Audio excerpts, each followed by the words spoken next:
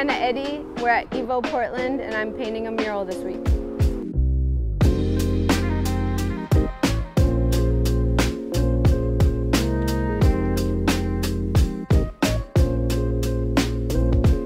I've been making art for as long as I can remember. You know, I've always been into skating and snowboarding and surfing and riding my bike, but art has kind of been the through line through all of it. The mural says, let's push for progress.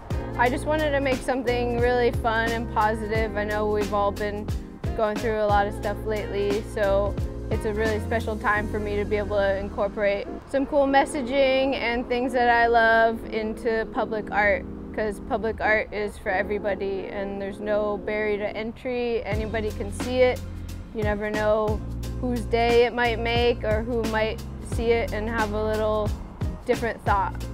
Love to incorporate females into my work and then they're interacting with nature and they're doing things that are fun and just kind of inspiring. They're like my best version of myself, like what I see and wish that I could like always be, you know?